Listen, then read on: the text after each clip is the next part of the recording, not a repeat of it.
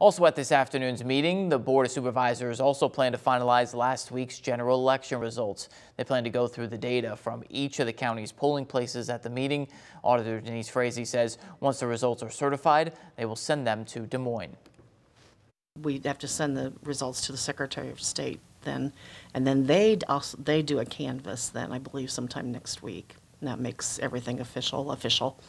The meeting starts at 2 this afternoon. You can find a link with the live feed on the story at WGEM.com.